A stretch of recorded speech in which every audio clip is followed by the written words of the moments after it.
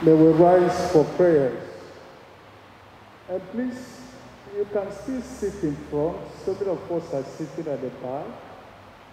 You can go to the front.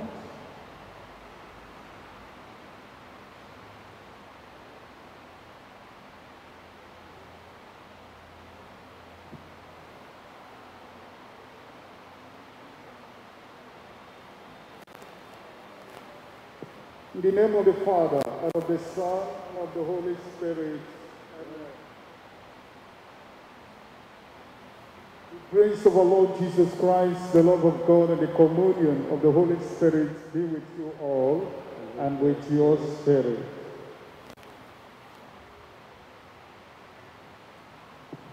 My dear friends in Christ, in the waters of baptism, when Collins died with Christ and rose with him to new life, may he now share with him eternal glory.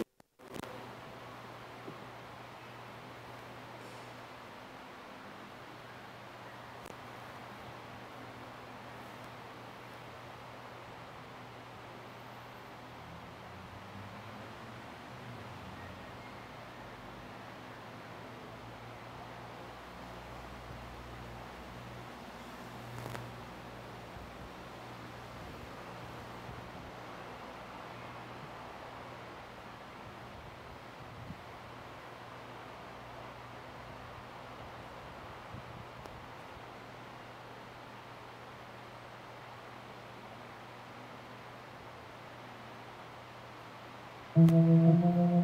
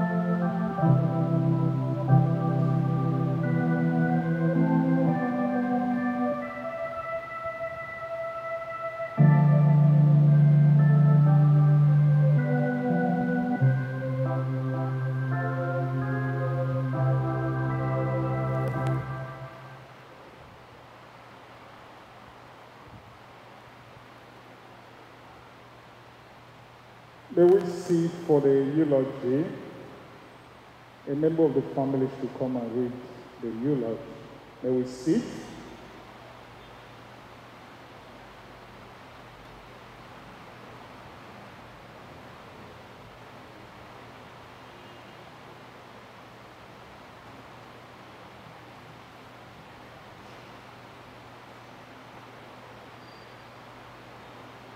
Somebody should come and say something on his behalf.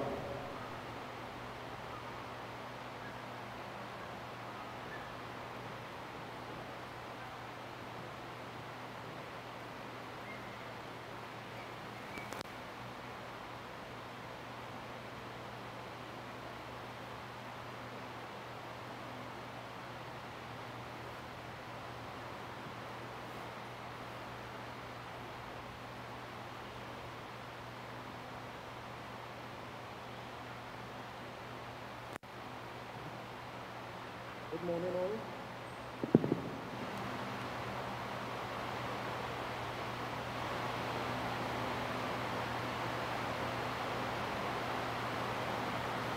Tasked this morning with saying a few words on behalf of our brother, father, grandfather, stepfather, uncle, son, Wayne Angus Collins. Some of us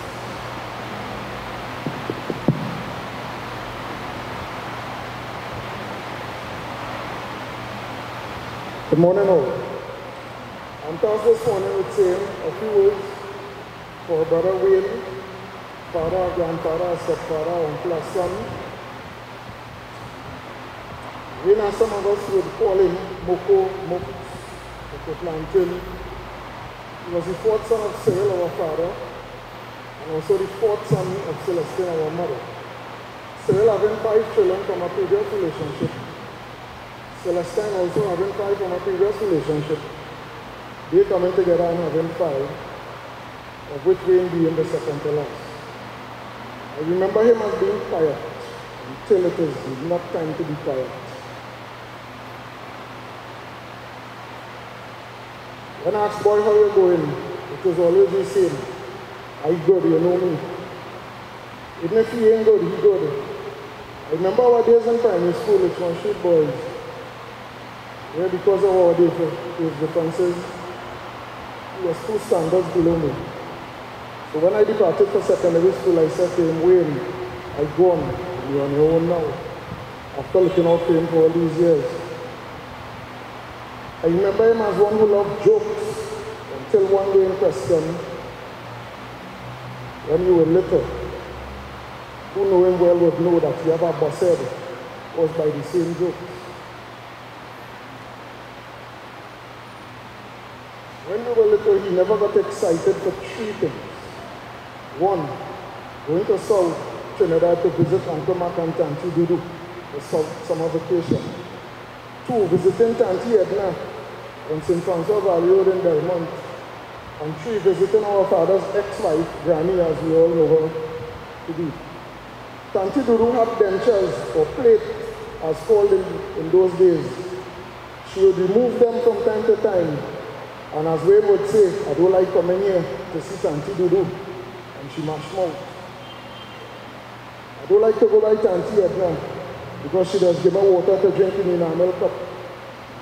And Granny does drink and smoke too much. When we got big, as some does say, in 1993, Wayne came to me one day and said he's getting married.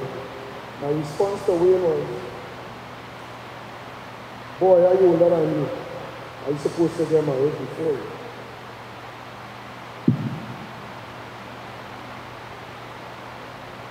Nevertheless, the boy was serious and he did get married before me. We present here today should know, I'm supposed to know, that no marriage is perfect. Wayne had his fair share. When he would come to me for advice, as he sometimes do, I would say to him, anything and anybody that makes you happy, boy, I have your back. When Wayne often spoke about family, his likes and his dislikes, like what was or is going on in the family, I would say to him, Wayne, maybe there are those among us who don't understand the true meaning of the word family. Sometimes he would pay me a visit and he's like, how you're going? I would say, so far so good. I was would reply and say, how about you? But here the usual, I good, you know me. Even if things ain't good, he good. So what are you doing later? Uh, well, you know me, I do on pole ball. Doing pole ball for years, coincidentally, was right outside this very church. You would be seen pulling ball many evenings after work until he got his taxi badge and end the bull pulling. As I would ask, how the bull pulling going? And he would reply, nah, I don't do that again, I work in taxi The upper really don't fall far from the tree where Wayne concerned because as some of us know, his father Cyril was also a bull puller after he was before. And Wayne had some granny in him for those who know him when he was alive. I would ask him, uh, often ask him, oh, you could be driving for Bridals all day and still drive taxi in the. And he would reply, I like to drive. The ones fortunate enough to learn to drive from him would know how serious he took his driving. Over the years, he was never involved in any serious accidents from his love to drive. We thank God for that. There were also some other incidents and accidents involving Wayne's time with us that we are also grateful for. We also want to thank him for his contribution towards his journey through this thing called life. I said before, father, grandfather, stepfather, brother, son, joker, bull killer, driver. Never learned to be no sports person. So as Wayne continued onwards into his journey with the ones gone before, we know that he will have lots of company, friends, and family. His birthday coming in a few days. And as Wayne would say, whenever we would meet for a funeral and you would hear the words, gone too soon, you would be like, how you know that?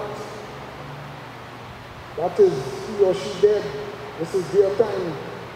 Do I thank you for the understanding? We all have our time just as you are in yours today.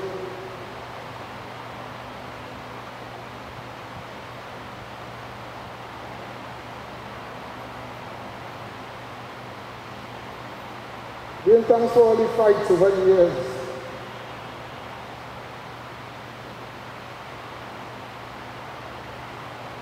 As, as brothers, when the fight done, as brothers again. Even during the fight, it's still brothers. The memories, good, bad, don't matter. Thanks, but regardless, my final words to you would be, I'm older than you. I'm supposed to do certain things before you. Sleep in peace, my brother.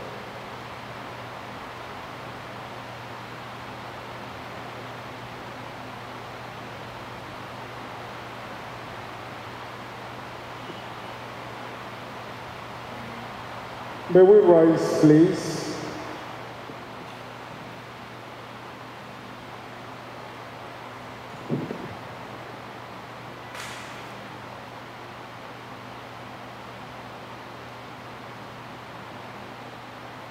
God of loving kindness, listen favorably to our prayers. Strengthen our belief that your Son has risen from the dead and our hope that your servant, Wayne Collins, will also rise again. We ask this through our Lord Jesus Christ, your Son, who lives and reigns between the unity of the Holy Spirit, one God, forever and ever. Amen. May we sit for the first.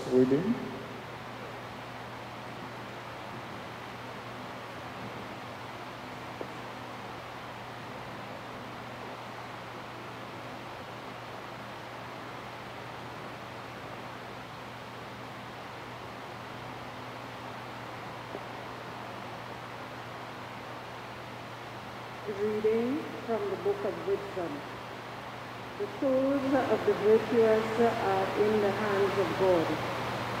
No torment shall ever touch them. In the eyes of the unwise, the dead appear to die. Their going looked like a disaster. They are leaving us like annihilation. But they are in peace if they experienced punishment as men see it, their hope was rich with immortality. Slight was their affection, great will their blessing be. God has put them to the test and proved them worthy to be with him. He has tested them like gold in a furnace and accepted them as a whole full, full of trust. They who trust in him will understand the truth. Those who are faithful will live with him in love. For grace and mercy await those he has chosen. This is the word of the Lord. And be to God.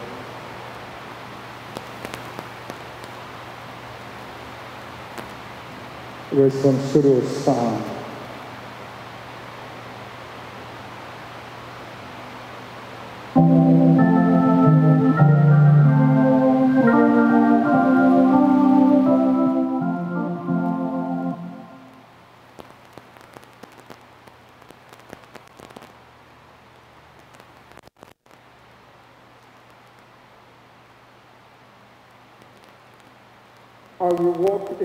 presence of the Lord in the land of the living respond. formed. I will walk in the presence of the Lord in the land of the living. I will walk in the presence of the Lord in the land of the living.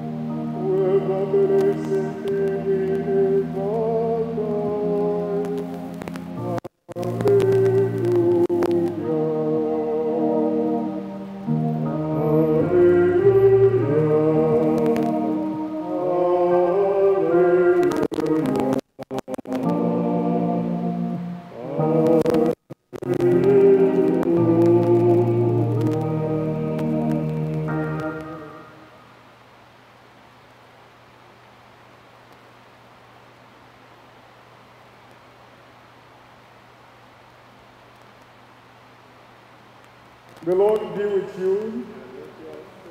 A reading from the Holy Gospel to Saint. Glory to you, Lord. Martha said to Jesus, If you had been here, my brother would not have died. But I know that even now, whatever you ask of God, he will grant you. Your brother said Jesus to her will rise again. Martha said, I know he will rise again at the resurrection on the last day. Jesus said, I am the resurrection and the life. If anyone believes in me, even though he dies, he will live. And whoever lives and believes in me will never die. Do you believe this? Yes, Lord, she said. I believe that you are the Christ, the Son of God, the one who was to come into this world. The Gospel of the Lord. Praise to you, Lord Jesus Christ. Sit, please.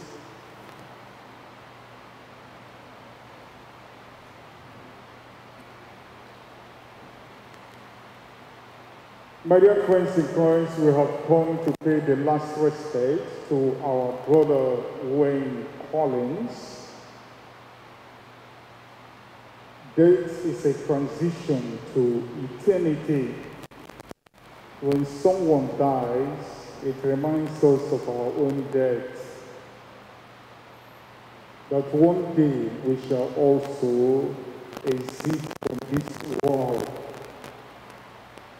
There are some people who sing, This world is not my home. Something like This world is not our home. Many of us will be asking ourselves, how come about it that this world is not our home?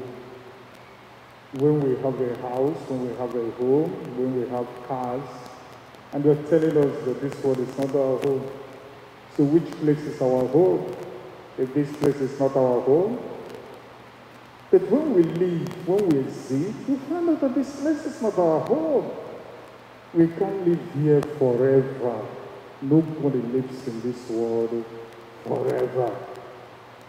I normally give example. I told them, I told, I tell people, when this church started in 18 something, if I'm not mistaken, those who started this church at that time, who were worshippers, where are they now? All those who started this church at its inception, how many of them are still alive up to now? And so many other generations have come and gone until the present generation. That is how it is. There will be a time, not even one person who is sitting down or standing up here now would be alive. It's a very hard saying, but then we have to accept the reality that death is also part of our existential, uh, is part of our existence. That one day we shall die. People come into this world, people exist, exist from the world. Have we ever taken our time and asked ourselves, when I die, where will I find myself? How many of us ask ourselves that question? If I'm no more, will I find myself? If death is inevitable, if I die, where will I find myself? So when somebody dies, we begin to think about our own death. Oftentimes, death does not ring bell. It doesn't ring bell. Once it comes, the person, once it knocks, the person goes immediately. Just like people, children are born every day, that is also how people die on daily basis. We don't even know the time of our own death. Somebody sent, uh, uh, uh, somebody sent, um, it's not a video clip, but it's posted something into my WhatsApp. And in that WhatsApp, uh, in, in, in that my WhatsApp page, there are people who are lining up and some flying. Those ones that flew is symbolic of those who have died. He says that all of us are in a line. All of us. And uh, people die on daily basis. But when you get to the front, you don't know. That we're on the line does not mean that when you look at those who are before you, maybe billions of people are before you, and you think if you never, before it can get your turn, it will take time. No. You won't know when you'll be in the front. So he's telling us that we need to be prepared. In this life, we are journeying to eternity. We are making a journey. We are on transit. We are on transit. Somebody goes to the market, to the grocery, to the supermarket, you buy something and you go. Another person comes, he buys, he or she buys his own and he goes. That is how life is. When you play your part, you move. Another person will play his or her own part. And Shakespeare says, and all the world is stage, and we are merely players.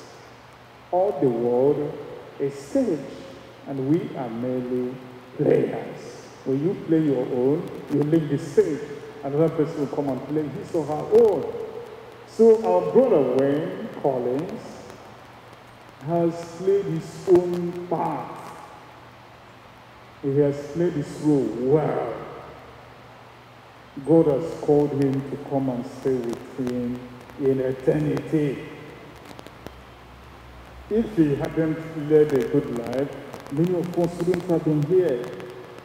Those of you who know him well will say, oh, while he was alive, was a very kind man, was a charitable man, was a very jolly fellow, and a very friendly. He must have assisted the poor, the needy, and so on and so forth. You have a lot of good things to say about him, and that's why you have left everything to pay him the last respect. Assuming he didn't lead a good life, he wouldn't have been here. If he had not touched your life in one way or the other, you wouldn't have been here. But you're here because he must have impacted on your life positively. So, dear friends in Christ, we have to go into introspection and examine our conscience on how we are living our lives. Am I living a good life? Am I living a bad life? In life, we have a choice to make, and, the, and our choices can make or mar us. On daily basis, we have a choice to make. Either we are choosing what is good, or we choose what is bad or evil. So, good and evil, light and darkness are walking side by side. People choose darkness. Some choose darkness. Some prefer darkness to light. It's choice. I will choose darkness. Some choose evil to goodness. Instead of choosing goodness, uh, you, you, the person chooses uh, evil. So some prefer darkness to light. Some prefer living a good life. Uh, some would prefer living a bad life to living a good life. So in life, we make choice. And the choice we make determine our eternal destiny. When we die, it is the choice we make here, now that we are still alive, that will determine how we live hereafter. If you made a good choice, you'll find yourself in a place or in a state where those who have made good choice are staying. But if you made a bad choice or a wrong choice, you also see those who made similar choices. The example is here in the Bible when the rich man saw Lazarus and he was in a state of uh, uh, hate, he was, he was thirsty, he was inflamed, and he saw Lazarus and Abraham. He said, Father Abraham, tell Lazarus to dip the, the, the, his finger in water to quench my thirst because I am thirsty here. I'm frozen. I need some water. What did Abraham tell him? Abraham said, Remember when you were on earth, you had all the good things in life, just like uh, Lazarus had the bad things of life. Now there is a chasm, there is a gulf between you and those who are where Lazarus is. Those who are where Lazarus is cannot go to where you are. And where you are, you can't go to where Lazarus is. And when the man found out that he can no longer make progress, he said, Please, Father Abraham, tell somebody to go and tell my brother so that they wouldn't live the type of life I led. Otherwise, they will still come and stay with me here. What did Abraham answer? You have Moses, you have the prophets, you have the word of God. If they don't listen, even if somebody should come from the dead, they wouldn't listen. So that scenario is a vivid description of what we suffer or what we enjoy upon our transition from this world. If you made a good choice, you will be happy. If you made a bad choice, you will see yourself in a state of torment, in a state of lack, in a state where you'll be tossing. That is it. When the man was alive, he created a gulf, he created a chasm between himself and poor people, vulnerable people. He had the best of clothes to wear, he had the best of food, he had the best of merriment. He changes his wares. He changes his wares often. It's uh, delicious food. Lazarus used to come to his house with torn shirts and uh, his body full of uh, sores. He will eat, drink, and he will be insensitive to the plight of Lazarus. So Lazarus represents poor people, vulnerable people, those who have no one to care for them. He was in a position to take Lazarus to hospital, to bandage his wounds, just like the Good Samaritan did, to feed him because he had a lot to feed, a lot of food. He closed his eyes to the poor man, Lazarus. And when he finishes, Lazarus will be trying to eat what drops from his table. And if he finds none, he will be scavenging, trying to eat the one for the pigs. No, the, the pig's food, that is what he'll be struggling with. But this man had all it takes to feed this young man, change his wares, take him to the hospital, bandage his wounds, treat him, and help him to become something in life. Help him. The resources are there. He doesn't need to borrow to do that, but he closed his eyes. Just as he closed his eyes, now he is there. And he's finding this poor boy that used to come to my house. Is that so? And he's in a very happy state. He doesn't lack anything. And look at him, he's suffering here. Tell him to dip his finger and come and me. It wasn't possible because what we sow is what we reap. That time, Lazarus was telling him, Please give me food. Please bandage my wound. Please change my wears. Please provide shelter for me. Please, I am in, in I am hungry. And if you read Matthew chapter 25, following, say, I was hungry and you gave me food. I was naked, you clothed me. I was in prison, you came to visit me. I was a stranger, you welcomed me. And the righteous people will say, they said, when did we see you uh, naked or we refuse to do it? When you refuse to do it to any of these, my brothers and sisters, you did it to me. So when somebody dies, it is a time for us to examine our conscience, ask ourselves, how am I living my life? What is my attitude to the poor, to the vulnerable, to those who are in lack, to those who are suffering, to those who need my help? What is my attitude to them? Do I share what God has given to me with them? Do I reach out to the poor? Do I assist people with my connection, with my position in life? Do I assist people? Or do I like to see people suffer? Do I like to see people in agony? Or do I inflict hardship and pain on people? Do I treat people wickedly instead of showing them love?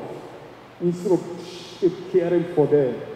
Instead of helping them to mitigate their problems? How do I treat people? Do I think I will be here forever? And so many people who are well to do have left their wealth, their resources, everything, and left. So many. When they leave it and you go into their account, you see a lot of money stacked there. And they never, or some of them never assisted anybody. Even those who knock on their doors were turned away.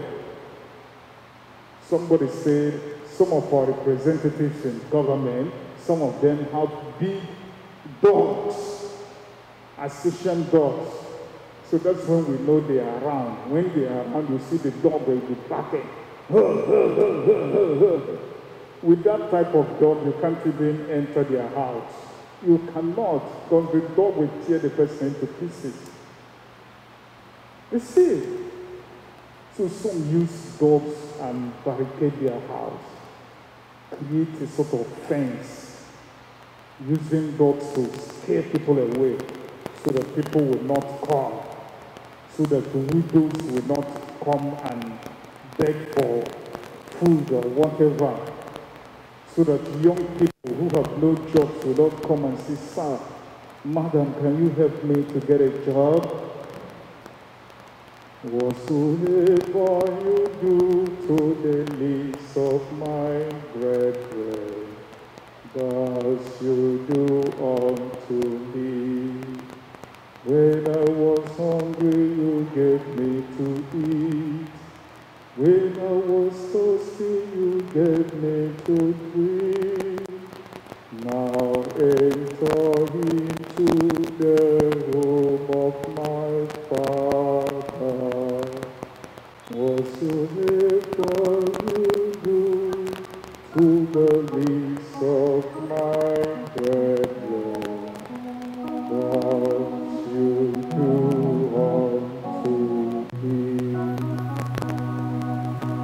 So I want to conclude this homily with the gospel reading we have just read, taken from St. John's Gospel, chapter 11, from verse 21 to 27. Martha was worried that when they sent for Jesus to come and heal their brother, Jesus couldn't come immediately. And after four days, Jesus came, and the brother had been in the tomb for four days. And Martha is saying, Lord, if you were here, my brother would not have died. But even now, I know that whatever you ask of God, God will do it for you. And Jesus said, Your brother will rise again. Yes, I know my brother will rise again on the last day. Martha didn't know that the person talking with her is the resurrection and the life. He said, I am the resurrection and the life. Anyone who believes in me, even if he dies, he shall live. Do you believe this? Martha said, Yes, Lord.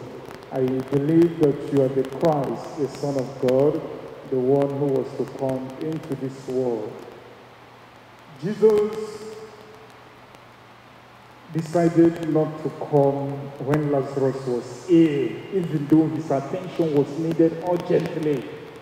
But he did it willfully because he wanted to teach us an eternal truth that all those who will die in the peace of Christ, that their souls will rest in peace, that they wouldn't be lost forever. And the first reading taken from the book of wisdom, it says, the souls of the virtuous are in the hand of God, and no evil will torment them. The souls of the virtuous are in the hand of God. So, my dear friends in Christ, if we die with Christ, we shall rise with him. All those who have died in the peace of Christ don't need to worry. Psalm 23 says, Even if I find myself in the midst of the shadow of death, I shall fear no evil. For you are there with your crook and your staff, and they comfort me. And at the end, the psalmist says, Surely goodness and mercy shall follow me all the days of my life. In the Lord's own house shall I dwell forever and ever. Amen. My dear friends in Christ, we pray for Wayne Collins, who had finished his work on the earth and now transiting to eternity. We accompany him with our prayers, praying that the Lord will forgive sins to you. In heaven. We commiserate with the bereaved family, the wife, the children, the siblings, the neighborhood, friends, well wishers, all of you that have come here today to bid him farewell. We pray that the good Lord will bless you, comfort you in your affliction, and grant you journey mercy. In the name of the Father, and of the Son, and of the Holy Spirit. Amen. May we rise prayer of the.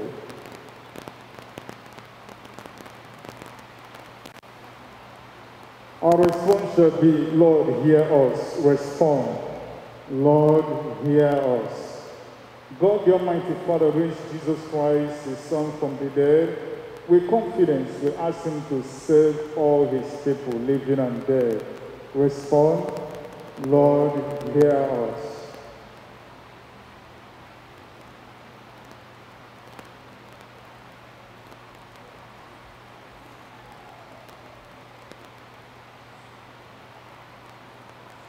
The first.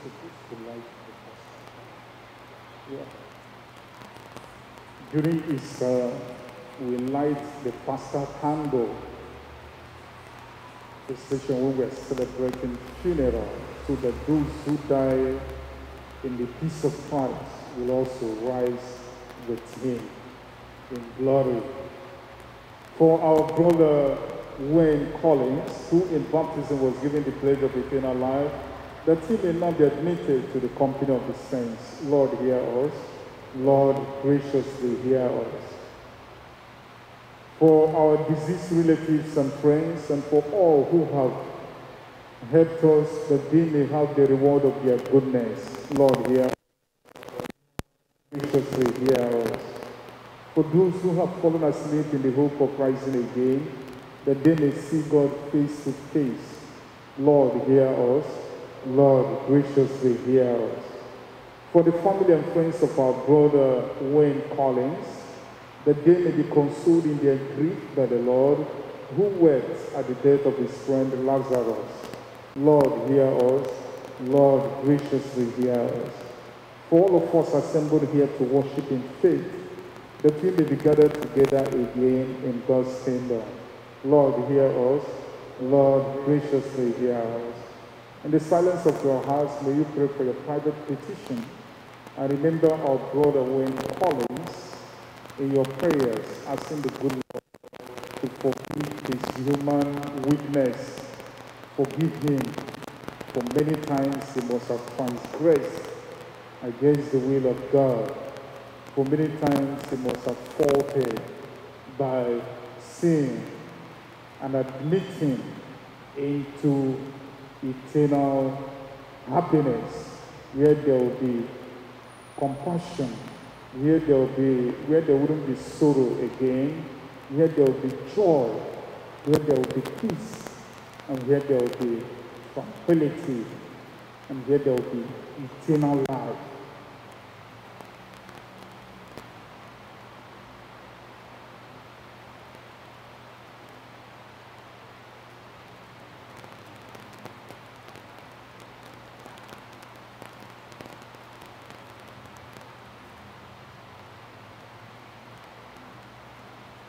I am so glad that Jesus loves him. Jesus loves him. Jesus loves him. I am so glad that Jesus loves him. Jesus loves even him. So you join me in that music. I am so glad that Jesus loves him. That is that Jesus loves Wayne Collins. I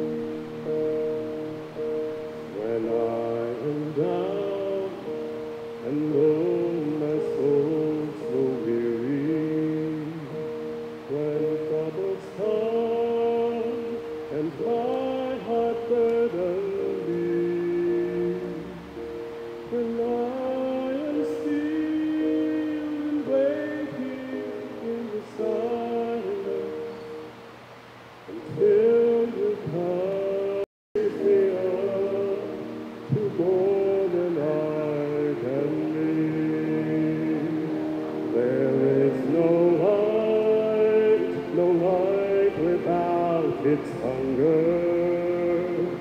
Each restless heart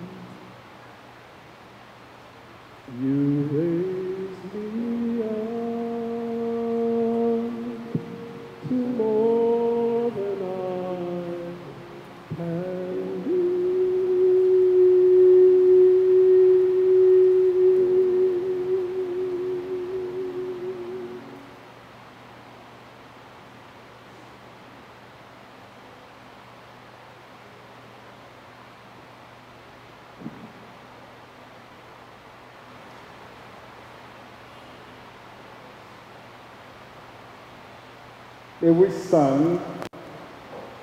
Before we go our separate ways, let us take leave of our brother Wayne Collins. May our farewell express our affection for him. May it ease our sadness and strengthen our hope. One day we shall joyfully greet him again. When the love of Christ, which conquers all things, destroys even death itself. Trusting in God, we have prayed together for Wayne Collins. And now we come, into, we come to the last farewell. There is sadness in parting, but we take comfort in the hope that one day we shall see him again and enjoy his friendship. Although this congregation will disperse in sorrow, the mercy of God will gather us together again in the joy of his kingdom.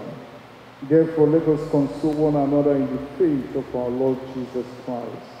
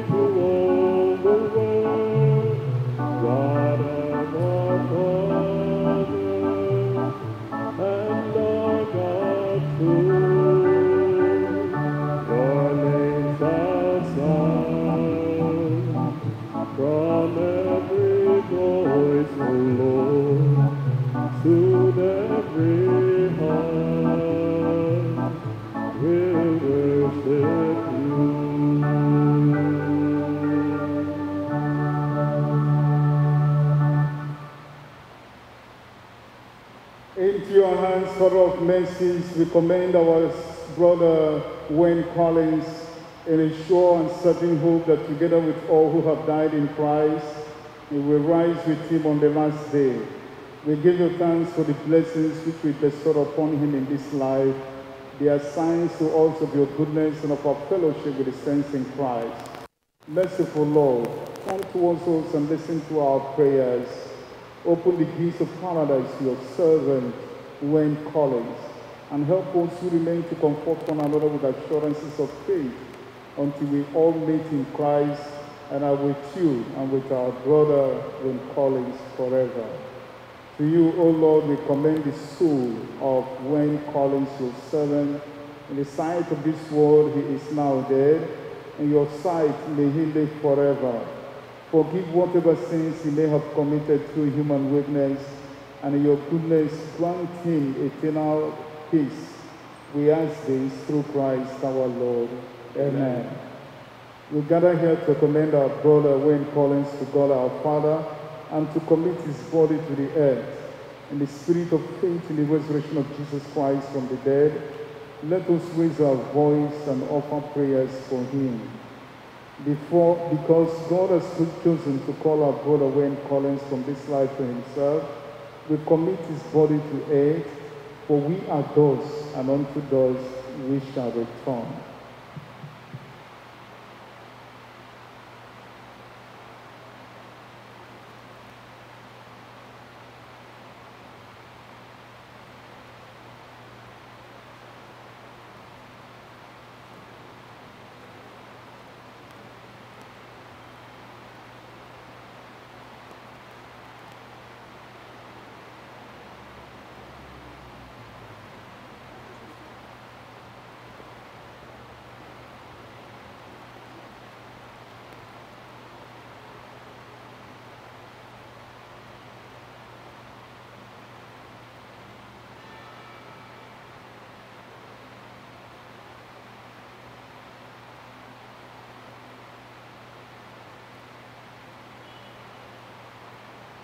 But the Lord Jesus Christ will change our mortal bodies to be like his in glory, for he is raising the firstborn from the dead. So let us commend our brother Wayne Collins to the Lord, that the Lord may embrace him in peace and raise his body on the last day. May we bow our heads and pray for God's blessings. Almighty ever living God, you know the anguish of the sorrowful. You are attentive to the prayers of the humble. Hear your people who cry out to you in their need and strengthen their hope in your lasting goodness. We ask this through Christ our Lord. Amen. Eternal grace grant unto him, O Lord, and let perpetual light shine upon him. May he rest in peace. Amen. May his soul and his the faithful departed, through the mercy of God, rest in peace. Amen. May the peace of God, which is beyond all understanding, keep your hearts and minds in the knowledge and love of God and his Son, our Lord Jesus Christ. Amen. May the love of God and the peace of our Lord Jesus Christ bless and console us and gently wipe away, wipe every tear from our eyes. In the name of Jesus Christ, the Lord. Amen. Wayne Collins, may the angels lead you into paradise. May the mountains come to welcome you and lead you to the holy city, the new and eternal Jerusalem. May the choirs of angels welcome you and lead you to the bosom of Abraham. And where Lazarus is found no longer, may you find eternal rest. Amen. Go in the peace of Christ. Thanks be to God. So before we process out of the church, permit me to thank all of you, especially the members of the bereaved family. The wife, is the wife here? Who is the wife? The wife and the children. Who are the children? Yourself. Which other person? Okay. So we say sorry, take heart. The members of the family, may God console you in your grief. Take consolation that you led a good life. He did his well, he did his part, he played his part, he played his role well in serving God and helping people. And we pray that God will prepare a place of happiness, a place of peace, a place of joy, so that he will rejoice with all the saints in heaven.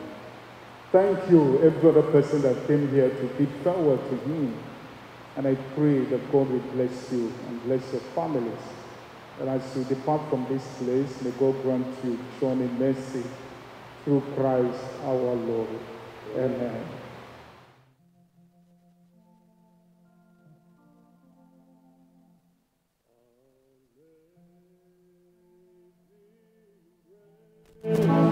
How